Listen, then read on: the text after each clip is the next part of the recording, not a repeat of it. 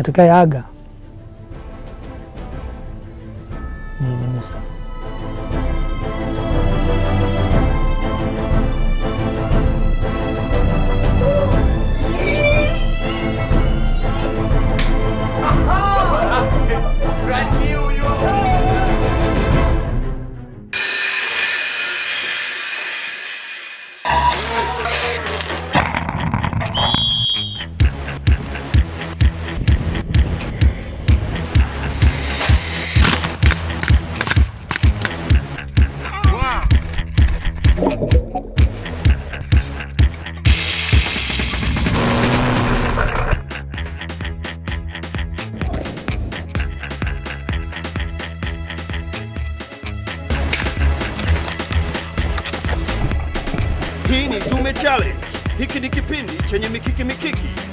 hakijawahi tokea katika ardhi ya Tanzania. Mashujaa 12 watakutana uso kwa uso na hofu na changamoto mbalimbali mbali ambazo hawajawahi kukumbana nazo katika maisha yao. Washiriki 12 watapambana kwa wiki 12 kuwania tuzo ya Dume Challenge na kitita cha shilingi milioni 20. Wanaume 12 wiki 12, mshindi mmoja wa shilingi milioni 20. Pambano umeanza.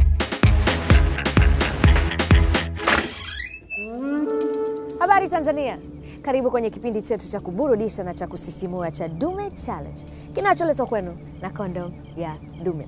Kipindi hichi kina changamoto kuliko kipindi chochote ukijuacho kwa washindani wake. Jina langu ni Vanessa Mdee, lakini unaweza kuniita Vi maana tumeshajuana. Hiki kipindi kinashindanisha wanaume kumi na wawili wa Kitanzania tukitafuta mwanaume halisi wa dume mwenye sifa kuu zifuatazo: upeo, heshima, uwajibikaji, uwezo wa kustahimili katika mazingira tofauti, uongozi na uhalisi. Walianza wanaume kumi na wawili, wamebaki wanaume saba. Yajayo katika kipindi cha leo. Kwa mara nyingine tena, washiriki watapambana na hofu yao kubwa watakapopiga mbizi na kutakiwa kutoa mashine ya kupumulia ingali bado wapo kwenye maji. Washiriki wataonyesha umahiri wao wa kukimbia na kukwepa vizingiti huku wakifanya kazi ya uhudumu. Mwisho tutarudi darasani, lakini kwa staili nyingine kabisa, pale washiriki watapofanyishwa mazoezi makali na kutahiniwa kwa namna wasioitaraji na kama kawaida washiriki watatu wenye maksi za chini zaidi wataenda kuonana na majaji na mmoja wao kuaga mashindano. Niko na mmoja hapo wa majaji wetu, Karola Kinasha. Ndio. Umemeremeta dada, Asante. umependeza. Nashukuru. Karibu. Asante. White Sands vipi? Anapapenda. Sana. Mwanana. Ehe. Eh, tuko safi. So, hebu niambie, kwa nini tumehamia White Sands kwanza? Kwa sababu kuna michezo mingine ambayo lazima ifanyike mahali ambapo sio porini, mm -hmm. lakini pia ni kuonesha kwamba shindano sio tu kuhusu nguvu na nini. mm. Mtu ambaye tunatafuta dume ambaye anaweza kuongea na mtu wa chini kabisa na anaweza kuongea labda na mtu ni balozi, ni waziri, ni nini. Kwa hiyo tunawapa mazingira tofauti mm. ili waweze kutupa hicho. Safi sana. Ningependa kumkaribisha Bwana Joseph Mapunda. Karibu Dume Challenge. asante sana. Asante Joseph kwa, tu, kwa kutukaribisha Seabreeze Marine Limited. Nashukuru. Mnafanya, mnafanya nini Seabreeze Marine Limited? Uh, Seabreeze Marine uh, Dive Center, uh, Yeah. tupo White Sand Hotel mm -hmm. Dar es Salaam and tunafanya scuba dive mm -hmm. na pia tuna, tunafanya courses. Hebu tueleze ni nini kidogo hapo unacho. Aha, hii ni mask ni kwa ajili ya kuona baharini Ndio. usipate maji Ndio. Hizi ni fins kwa ajili kusaidia kuweza ku- kuogelea. Aha, na hapa Na hii ni uh, scuba gear ambayo ime contain tank, a BCD na regulator ambayo ni breathing ya breathing apparatus. Eh? sawa. Sawa sawa. Safi sana. Kwa hiyo uko tayari kuwafundisha madume wetu? Eh, niko tayari kuwafundisha. Kama unapenda kupiga mbizi, karibu White Sands Hotel hapa Sea Breeze Marine Limited. Joseph, tarudi naye. Habari zenu? Mambo? Mnajisikiaje? Na kuona mpo pazuri kweli. White Sands, kuna gym, chakula kizuri, upepo mwanana wa bahari, fukwe. Shindano la leo, mlivyoanza shi- shindano hili, wengine mlikuwa mnashindwa hata kuogelea vizuri. Leo mtahitaji kupumua chini ya maji kama samaki vile. Inahitaji ujasiri na uwezo kustahimili katika mazingira tofauti. Natakia kila la heri. Neema, naomba sheria za mchezo. Sheria za shindano la kina kirefu. Shindano hili ni la mtu mmoja mmoja. Kila mshindani atakamilisha mazoezi mawili chini ya maji. Mazoezi haya yameafikiwa na kozi ya kimataifa ya kupiga mbizi ya PADI. Utendaji wenu utatathminiwa na mtaalamu wa kupiga mbizi.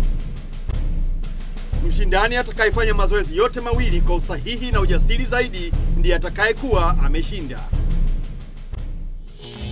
Natakia kila la heri.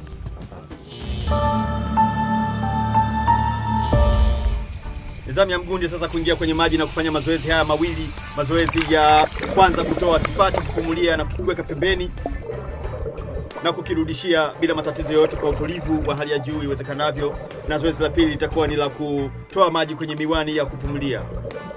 Hapa kiongozi instructor ama mwelekezaji, mtaalamu wa mbizi ambaye anaitwa Bwana Joseph anampa maelekezo hapa Bwana Mgunje, na Bwana Mgunje atakuwa yeye anafuatiwa. Hali kadhalika hii itakuwa ni kwa washindani wote katika zoezi hili. Mgunje sasa anatoa kifaa cha kupumulia vizuri kabisa pale, naona kinatoa hewa ya kutosha pale, ame amekitoa vizuri kabisa pale. Kazi sasa ni katika kuirudisha hii inaurudisha, ameweza kuipata vizuri kabisa, na sasa anaielekeza katika mdomo kuweza kuirudisha mara pake. Safi kabisa, ameweza kuirudisha pale vizuri, safi. tuende kwenye kutoa hewa kwenye miwani sasa, si itakuwaje hapa? Yanaweza kukuta wakati mwingine unapiga mbizi, na hivyo kutakiwa wewe kuweza kuyafanya haya kwa umakini, kwa umakini zaidi. Kwa... Ehe, Gunje naminya, naminya miwani pale pembeni ili kuweza kutoa Maxis zinaandikwa hapo inaonekana amekona vizuri bwana Mgunje, safi kabisa. Watazamaji, atakayeshinda katika zoezi hili atapata kinga ya kutoonana na majaji.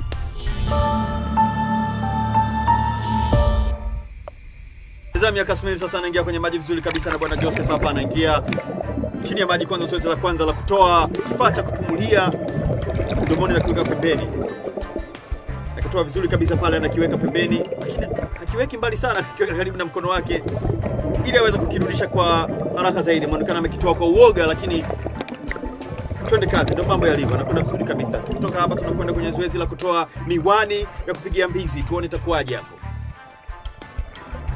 Kuja kwenye zoezi la kutoa maji kwenye miwani ya kupigia mbizi, naona anapata tabu kidogo pale, kama vile anaomba msaada, sijui ni vipi hapa eh, bwana, ni vipi hapa? Makina naona toa ame, inaonekana kama kuna maji yameingia kwenye mfumo wa kupumulia, kuna maji yameingia puani pale, anapata tabu kidogo huyu kijana do paliwa na maji huyu bwana huyo anajitahidi kweli kweli kujikaza pale, lakini inaonekana amepata tabu kidogo pale. Eh bwana, bwana Kasmini, do pole sana, pata tabu kidogo pale, pata msaada wa bwana Joseph. Do hili zoezi halijakwenda vizuri sana kwa bwana Kasmili.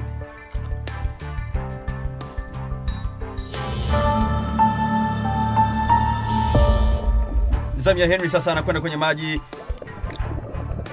kwenye maji sasa fanya zoezi la kwanza la kutoa kifaa cha kupumulia na kuliweka pembeni. Analiweka mbali kabisa na yeye, anaonyesha kwamba jamani, mnaona kwamba liko pembeni. Analiachia, anafunga mikono kifuani kuonyesha kwamba niko vizuri. Anarudisha vi... Aha, anarudisha kifaa vizuri kabisa pale, analiweka mdomoni.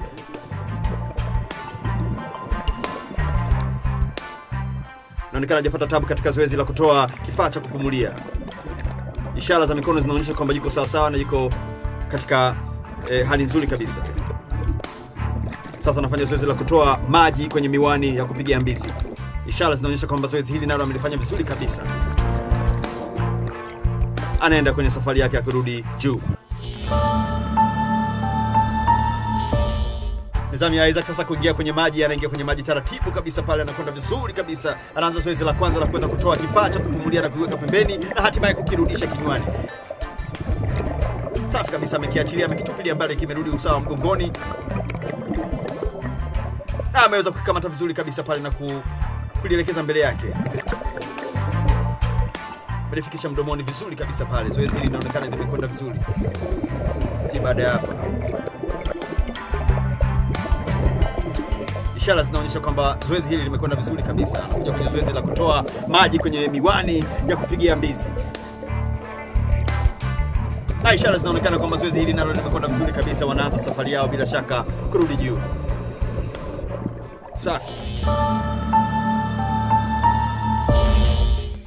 Nizami ya Chava sasa kuingia kwenye maji, anaingia kwenye maji vizuri kabisa na mtaalamu wetu bwana Joseph Anaanza zoezi la kwanza la kutoa kifaa cha kupumulia na kikiweka pembeni, anahakikisha kwamba kiko pembeni kabisa pale, kasema kwamba kilikuwa karibu sana anakirudisha mpaka usawa wa kinywa, bila shaka, bila matatizo yote pale.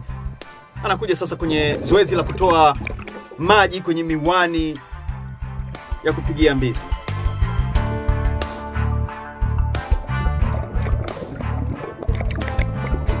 Na zoezi hili linaonekana linakwenda vizuri kabisa, na ishara zinaonyesha hapa kwamba amekwenda vizuri kabisa katika zoezi hili. Safari ya kuja juu inakuja inakwenda vizuri kabisa, amerudi mpaka usawa wa juu.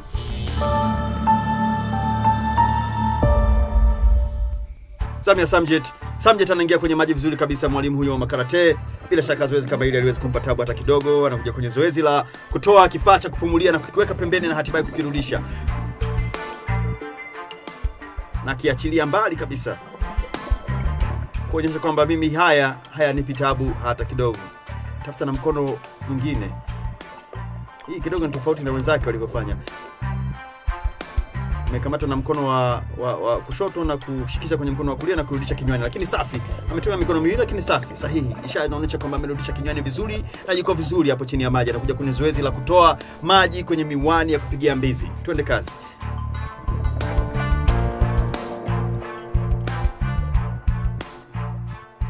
Zoezi hili linaonekana linakwenda vizuri. Zoezi hili linaonekana linakwenda vizuri kabisa. Ishara zinaonyesha kwamba ameweza vizuri kutoa maji kwenye miwani ya kupigia mbizi na amerudi mpaka usawa wa juu.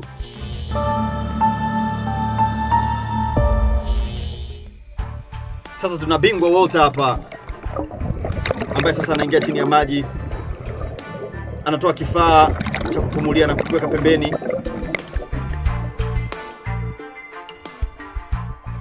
Tabu kidogo kukitafuta pale, lakini anakikamata na kurudisha kinywani vizuri kabisa. Kuja kwenye zoezi la kutoa maji kwenye miwani ya kupigia mbizi. Ishara zinaonyesha kwamba amekwenda vizuri kabisa katika zoezi hili, vizuri kabisa. Wanakuja juu, Ah, wote walifanya vizuri kwenye mashindano, ingawa walikuwa na matatizo kwa sababu ah, si kitu kipya kwao. Ah, katika hawa shindani mshindi ni Samjet. Karibuni Kole Kole. Najisikiaje? Najisikia vizuri. Samjet, hongera, umesalimika, unaweza kupumzika.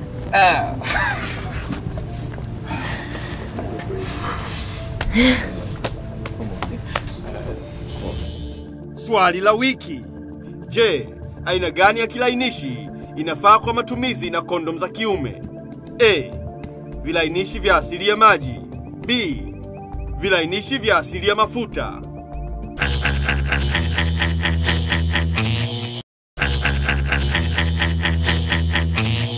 Karibu tena kwenye kipindi chetu cha kuburudisha cha Dume Challenge, mtazamaji. Jina langu ni Vanessa Mden na pamoja na raha zote za White Sands, washindani wetu wanakabiliana na changamoto mbalimbali zinazoendana na hali ya maisha ya eneo hii. Kwa mfano, katika kula, mbinu na adabu zinatofautiana katika mikoa tofauti, utamaduni mbalimbali mbali, na nchi tofauti. Tuchukua kwa mfano hichi kisu. Sehemu nyingi duniani hichi kisu kinajulikana kama kisu cha kulia samaki, lakini katika jamii zingine samaki uliwa kwa mkono hadi mifupa, mikia na Wapare tunapenda kula macho pia. Sasa unajiuliza mtazamaji, haya yanahusika vipi na washindani wetu? Well, hichi ni kipindi chenye changamoto nyingi kuliko chochote ukijuacho. Wiki hii washiriki wetu wako katika zoezi la kujifunza taratibu za ulaji na upangaji wa meza katika hoteli za kimataifa. Hapa anatakikana apatikane balozi ambaye ataweza kuhimili mazingira ambapo mambo kama haya yanapatikana. Katika wiki hii watajifunza haya na mengi zaidi. Kulingana na setup ya meza kuna vifaa tofauti na kila kifaa kina jina lake na kina matumizi yake binafsi. Kuna vifaa tofauti kwenye meza yetu unavyoona. Kuna vijiko ambavyo kama hiki hapa cha supu, na hii hapa ni ya kutumika kwenye kuapply butter. Hii hapa tunaita fish knife na hii hapa tunaita fish fork. pia hivi vyote ni vya kutumika kwenye kosi ya pili. Ukishamaliza na hizo, unatumia vifaa vingine ambavyo vinatumika kwa the last course ambayo ni dessert. Ukishamaliza huwa zinasushwa chini, unabaki nazo mbili hapo, na ndizo hizi unamenyea, hii hapo kwa hapa ambayo ni dogo kidogo, na hii hapo dessert spoon. Ukishamaliza zote unaziweka hapa.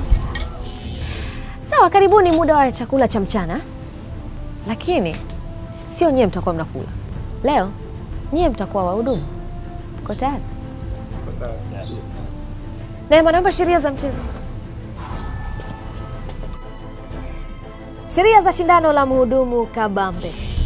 Shindano hili ni la mtu mmoja mmoja. Kila mshindani atatakiwa kuandaa meza kulingana na vigezo vya kimataifa.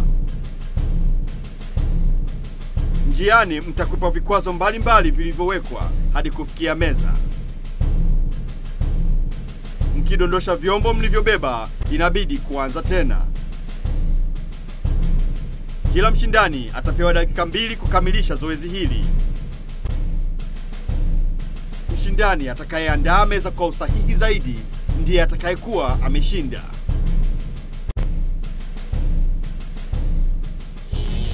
Umeshawahi kuandaa meza? Kuna mtu ameshawahi kufanya kazi ya uhudumu? Mtathmini wenu atakuwa mzee Ali Ilika. Ali, karibu. Kila la heri. Washiriki wanapewa sekunde chache kuangalia meza ilivyopangiliwa ili na wao waweze kuipanga jinsi inavyotakiwa.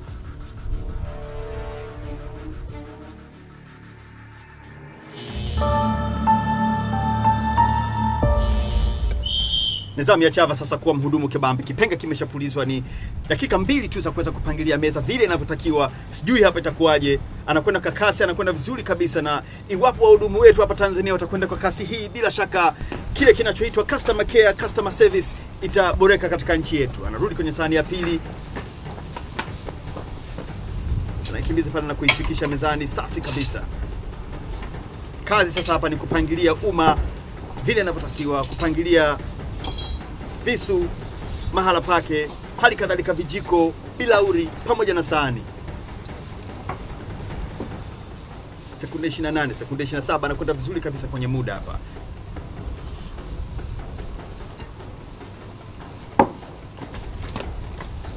Sahani hii ya kwanza, ya sahani alipoipanga hamna kiti, hamna mkaaji pale. Watazamaji, sahani alipoipanga pale hamna mtazamaji, na kisha kama ameifunika na kile cha kubebea sahani zenyewe. Sasa sijui hapo itakuwaje hapo, si kama atakumbuka kuitoa, sijui itakuwaje. Wake sekunde chache, sahani ziko tofauti na viti vilipo, si amewapangia nani sahani hizo jamani? Nao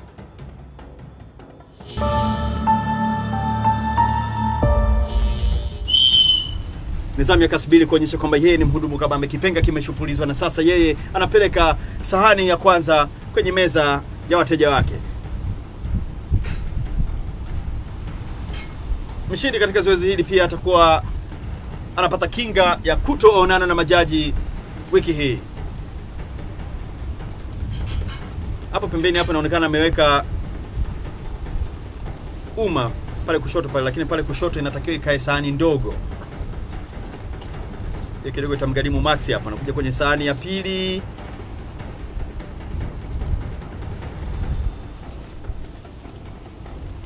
ifikisha vizuri pale mezani.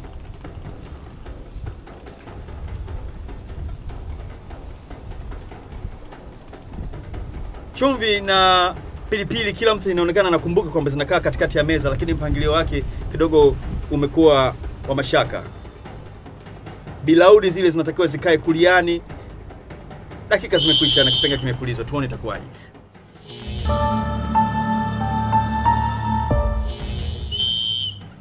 Nizamu ya Henry sasa kuonyesha kwamba yeye naye anaweza kawa mhudumu kwa Bambe. Anakuja na sahani ya kwanza kuipeleka kwenye meza ya wateja wake, anakuja vizuri kabisa pale.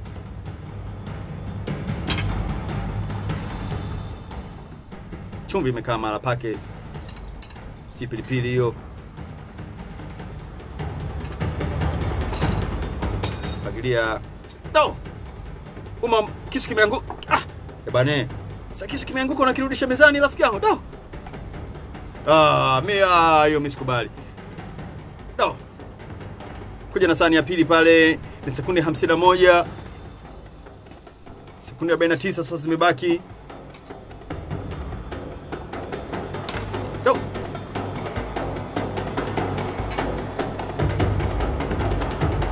dakika zinayoyoma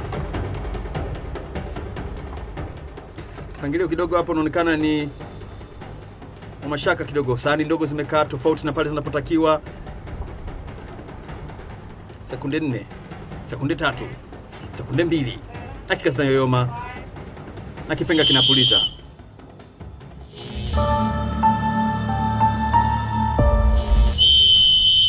ni Samia Water kuonyesha umahiri wake katika zoezi hili la kuhudumia wateja wake, kuhudumia wateja. Zoezi la mhudumu kabambe anakwenda vizuri kabisa pale, anapiga katika meza hii na ile kuweza kufika katika meza ya wateja wake na kufikisha sahani na vifaa vinginevyo. Kuja kwenye upangiliaji hapa, safi kabisa, ameweza ku safi, ameweza kupangilia vijiko vile vya vyakula vinavyokuja baada ya kile chakula kikuu, yani kwa maana baada ya pilau au baada ya e, birihani yanakuja yale madizeti yale. Hey! Walter ameonekana ameangusha ki... hey! ameangusha kisu, ameangusha kisu bwana Walter. Ah, nina wasiwasi nayo kidogo kuangusha kisu pale, pengine angeweza kuomba hata kioshwe au kibadilishwe apate kingine. Hii mimi na wasiwasi nayo, naona kama vile itaweza kumpotezea Maxi, kwa sababu mimi kwenye swala la usafi kidogo eh, nafikiri ina nafasi yake katika kuwa mhudumu bora. Upangiliaji unaonekana mzuri kabisa hapa, safi kabisa. Sekunde mbili, sekunde moja imebaki na kipenga kinapulizwa.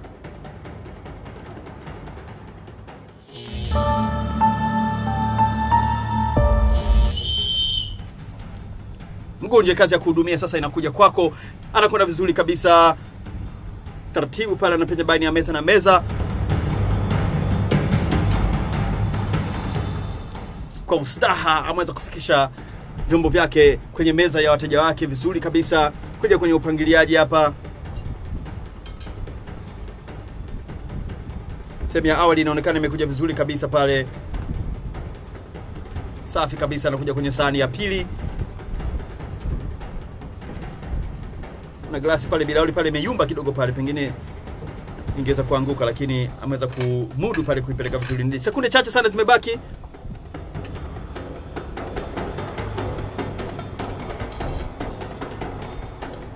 alijitahidi sana kupangilia vyombo vile inavyotakiwa. Mpaka hapa mi naona nakuja vizuri kabisa, kini glasi naona kama vile haziko mahala pake. Sekunde mbili sasa zimebaki, moja. Do, muda umekwisha na kipenga kimepulizwa. Do.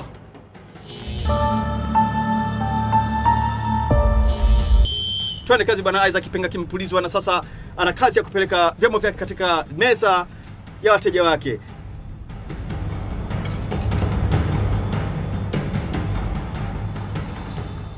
Upangiliaji unaonekana haumpi tabu kabisa kijana huyu. Wataalamu wa mambo haya wanaangalia kwa umakini sana. Dakika nzima imepotea hapo katika kupangilia sahani ya kwanza, na sasa amebakisha chini ya dakika moja kupangilia sahani ya pili. Sahani moja hapa inaonekana imekaa bila kiti, lakini naona anaweza ah, safi, ameweza ku kushtukia kwamba hili limekaa ndivyo sivyo, na kuweza kuhamisha kiti pale ambapo sahani ilipo. Ametumia akili hapo. Sijui kama wataweza kumpatia max katika eh, hili, lakini tutaweza kuona. Sekunde zimebaki chache sana, sekunde mbili sasa zimebaki, moja. Safi kabisa.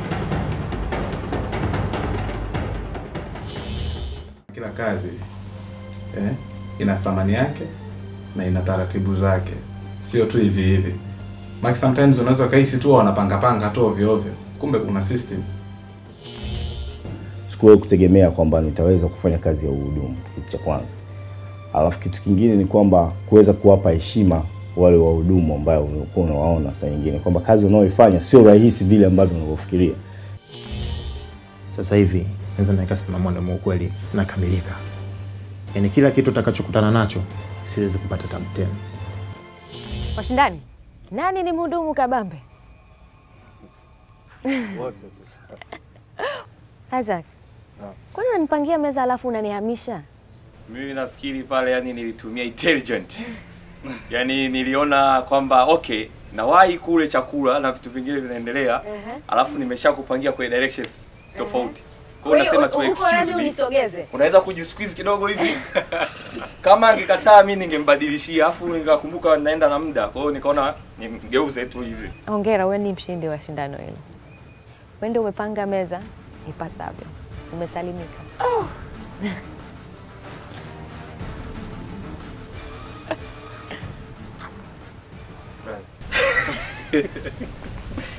Da. Baada ya mapumziko mafupi tutarejea.